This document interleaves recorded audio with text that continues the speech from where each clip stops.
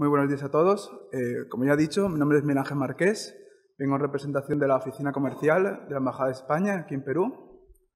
Eh, de formación, soy ingeniero agrónomo y dentro de la oficina soy la persona encargada de ver todos los temas relacionados con la agroindustria peruana. La presentación del día de hoy tiene como nombre España, el mejor socio para la expansión de la agroindustria peruana.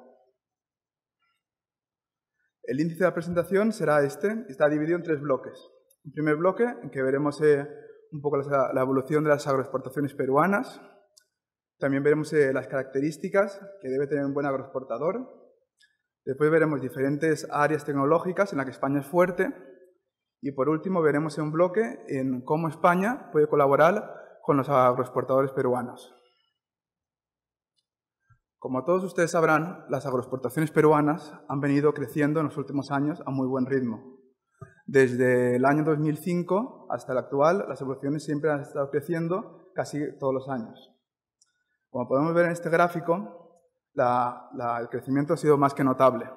Como se puede apreciar, las agroexportaciones no tradicionales son las que más han crecido. Las agroexportaciones tradicionales han crecido también, pero en menor medida que las no tradicionales. En los próximos años se espera que proyectos de irrigación como Olmos, Chavimochic y Majes Iguas 2 aporten en total 140.000 hectáreas de nuevas zonas de producción. Esto hará que se alcance el objetivo de los 10.000 millones en agroexportaciones para el año 2021, según el Gobierno y fuentes del sector. España es un país que tradicionalmente ha sido eh, muy importante en cuanto a producción eh, agrícola. Desde hace muchos años somos referentes en Europa en cuanto a producción de frutas y verduras, cereales y otros productos agroalimentarios. Esta experiencia nos ha hecho eh, entender cuáles son las características principales que debería tener un buen agroexportador para, uno, mantener mercados ya abiertos y, dos, abrir nuevos mercados internacionales. Después de muchos años hemos visto que un agroexportador debería cumplir eh, básicamente estas cuatro características tener una producción homogénea que le permita realizar envíos eh, y partidas homogéneas a sus clientes, una alta producción para tener una buena capacidad de negociar eh, precios y rendimientos con competidores extranjeros, una excelente sanidad que le permita entrar en mercados internacionales y también una excelente post cosecha para que sus productos lleguen a mercados lejanos en buenas condiciones. Todas estas eh, características se pueden conseguir mediante diferentes áreas tecnológicas en las que España es fuerte, como podrían ser la gestión de la fertilización, la plasticultura, tratamientos post cosecha, maquinaria agrícola e investigación. A continuación vamos a desarrollar cada uno de estos aspectos tecnológicos. Respecto a la fertilización, eh, tradicionalmente, desde que empezó la agricultura, siempre ha sido el agricultor el que ha decidido mediante su eh, experiencia y su saber hacer en qué momento debía regar en qué momento debía aplicar productos eh, eh, nutricionales al cultivo. Más tarde se fueron desarrollando diferentes métodos de cálculo para establecer cuáles son las necesidades hídricas del cultivo. pero el problema de estos métodos de cálculo es que no siempre se adaptan a las condiciones particulares de cada zona o de cada cultivo. Es por esto que se han ido desarrollando sensores, como pueden ser estaciones meteorológicas, de endómetros o sensores de humedad que permiten tener un conocimiento de diferentes eh, aspectos del cultivo en cada zona. El problema de los sensores es que dan una información muy localizada de, el área en, la que están este, instalados. Es por esto que también se han desarrollado tecnologías como puede ser la teledetección, que actualmente se está utilizando bastante. Mediante imágenes del satélite que pasan a través de, de las diferentes zonas de productivas, se pueden obtener imágenes como estas, en la que vemos, esto seguramente sea en España, sea una zona eh, de producción de maíz o cereales. Entonces lo que vemos es las zonas verdes serían de cultivo y las zonas que no están verdes serán eh, zonas en las que no se ha plantado por diferentes motivos. Mediante diferentes algoritmos de cálculo, con las diferentes eh, bandas espectrales del satélite, se pueden conseguir cosas tal que así. Podemos conseguir tener eh, índices de cuál es el desarrollo fotosintético del cultivo. Entonces, lo que vemos por aquí, ejemplo, vemos dos círculos en la parte central de la imagen que están totalmente rojos. Eso nos indica que el desarrollo fotosintético del cultivo es homogéneo en esa zona. Si ustedes miran en la parte derecha, vemos que hay, como hay otro sector productivo en la que medio círculo está rojo y la otra mitad no está tan rojo. Eso lo que nos está indicando es que ahí hay un problema, que no se está desarrollando el cultivo totalmente igual. Ese problema puede verse a problemas de riego, problemas nutricionales o simplemente que una plaga de animales ha entrado en el cultivo y lo ha, destrozado. No nos dice qué problema es, pero nos dice que hay un problema y sabemos cómo localizarlo. Eh, con todo esto, hay empresas españolas que han conseguido eh, una visión 360 de todos los aspectos que he estado comentando. Consiguen aunar la experiencia del agricultor, la información de los sensores y también información de la teledetección para, mediante un software, poder eh, tener herramientas para decidir en qué momento iniciar el riego o iniciar eh, tratamientos nutricionales. Esta tecnología ya se está aplicando aquí en el Perú eh, de mano de empresas españolas junto con empresas peruanas que están, están desarrollando ya proyectos aquí, concretamente en la zona de Ica, en cultivos de vid ya se está utilizando. Lo que nos permite esta, este tipo de tecnologías es, sobre todo, ahorrar agua y unas condiciones como las peruanas en la costa, donde cada litro de agua es muy importante, si conseguimos ahorrar agua, la podemos destinar a regar en otras zonas, lo que tenemos más superficie de producción. Otra área tecnológica en la que España es puntero es la plasticultura. La plasticultura, por si no lo conocen, es eh, el área de la agricultura que estudia eh, cómo utilizar materiales plásticos para el desarrollo de los cultivos.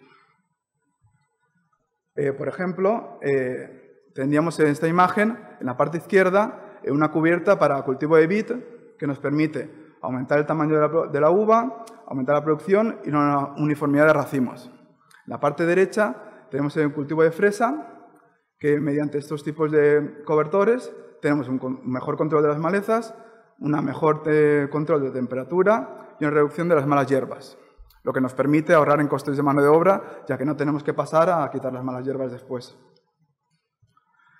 Eh, la plasticultura eh, ha alcanzado su máxima expresión en el Ejido, que es una zona de España situada en el sur, en el que existen 35.000 hectáreas bajo plástico. En estas 35.000 hectáreas, anualmente se exportan 2.900 millones de dólares, únicamente en 35.000 hectáreas. Esta producción de 2.900 millones de dólares es aproximadamente un 45% del total de las exportaciones peruanas. Eh, como podéis ver, en la parte derecha tenemos una imagen de lo que sería un, invernadero tipo en la zona esta Ejido, en Almería. Como se puede ver, son, creo que estos son cultivos de tomate, están este, instalados en cultivo hidropónico, con cubierta de invernadero y todo por riego por goteo. Dado que España y Perú poseen unas condiciones climáticas más o menos similares, este tipo de tecnología es fácilmente implantable, ya que si en la, zona de España, que también tiene en el sur, tiene características semiáridas, en la, zona, en la costa peruana, que tiene unas condiciones climatológicas parecidas, se podría, se podría aplicar esta tecnología sin mayores inconvenientes. Otra área en la que es muy importante España es el tratamiento post cosecha.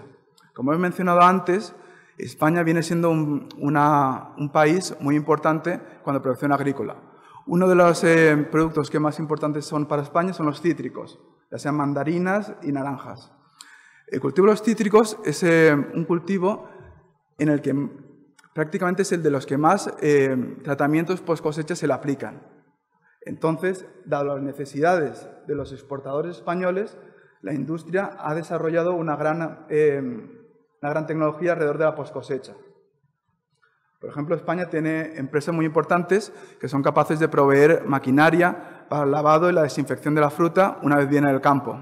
También este, desarrollan productos como son las ceras naturales para eh, evitar la deshidratación del producto, protección frente a golpes, alargar la vida útil y también mejorar la percepción visual del consumidor. Todas estas tecnologías y estos eh, productos lo que nos ayudan es a mantener la fruta en buenas condiciones para que llegue a mercados, a mercados exteriores en unas condiciones óptimas para el cliente. Eh, otra área en la que España es eh, muy importante a nivel mundial es la maquinaria agrícola. Como ya hemos hablado también, a tenor de las necesidades de los productores, para el desarrollo de sus cultivos, se tuvo que crear una industria de maquinaria agrícola muy fuerte para dar soluciones a las necesidades de los productores. Eh, la maquinaria agrícola, si algunos de ustedes son este, agricultores o se dedican al mundo del campo, es muy amplia, desde trilladoras, máquinas de cosechar, pulverizadores, etc. Entonces, lo que vamos a tratar eh, en esta presentación es simplemente de poner un caso. Si hablamos de pulverizadores, lo que, que la mayoría de la gente le viene al caso, a la, la cabeza viene a ser algo tipo así. Una máquina, la que cuenta con un depósito, unas boquillas y un, este, ventilador para esparcer el producto. Em, a tenor de unas em, conversaciones que tuvieron diferentes eh, empresarios peruanos con, concretamente esta empresa española de maquinaria, las empresas peruanas se dieron cuenta de que estos tipos de equipos no se adaptaban bien a sus cultivos. Como ustedes conocerán, el cultivo del palto es un cultivo bastante alto, que vendrán a, que vendrán a ser 5 o 6 metros de altura, y este tipo de maquinaria no llega a pulverizar bien las partes altas. Entonces, fruto de estas conversaciones, nació esta propuesta maquinaria, que como pueden ver es un equipo muy parecido, pero simplemente lo que se ha hecho es, eh, con un sistema hidráulico, levantar el ventilador y las boquillas para conseguir que se adapte bien a las necesidades de los cultivos peruanos. Entonces, eh, este es un claro ejemplo de la colaboración entre España y Perú para dar solución a las necesidades peruanas. Otro tema muy importante que tenemos en España es la investigación. Eh, actualmente, si se quiere desarrollar un tipo de industria, hace falta investigación, por lo que España cuenta con eh, bastantes centros de investigación, ya sean públicos, como por ejemplo universidades o centros específicos, o también privados, ya que hay empresas que desarrollan su propia investigación privada. Para mencionar algunos, eh, les mencionaré el IBIA, que se encuentra en Valencia, que se especializan sobre todo en cultivos hortícolas y, también mucha investigación en cítricos, ya que es la zona donde mayor producción de cítricos hay en España. También el IFAPA, que se encuentra en Andalucía, que tiene investigaciones sobre todo en cultivos hortícolas. También la Estación Experimental Auladey, que está en Zaragoza, que desarrolla mucha investigación en cuanto a riego por aspersión y después el Instituto de Hortofrutícola Subtropical y Mediterráneo, que están en Málaga, que en este centro sobre todo se centran en investigación en productos, en, perdón, en cultivos eh, subtropicales y tropicales. Entonces, eh, ya que ustedes o la agroexportación peruana tienen cultivos como la palta, vid, mangos, estos, la investigación que se desarrolla en estos centros, eh, atendiendo a, salvando algunas diferencias, puede ser aplicable o puede servir para los cultivos aquí en Perú. Después, eh, España eh, cuenta con diferentes eh, mecanismos para ayudar a las empresas españolas a vender sus productos en el exterior y a, mejorar su internacionalización. Entre diferentes mecanismos que existen, existen una línea de financiación que se llama FIEM, que lo que consiste es dar créditos a empresas extranjeras para que compren maquinaria española, maquinaria o productos españoles. En este caso sería a empresas peruanas. Este, esta línea de financiación tiene un plazo de amortización de 10 años, tiene un tipo de interés preferencial a un menor coste de mercado y se puede financiar hasta un 85% del total de la inversión. Después también España eh, durante el año realiza diferentes ferias en las que diferentes empresas de maquinaria, productos o diferentes eh, soluciones para el campo se reúnen para mostrar sus soluciones.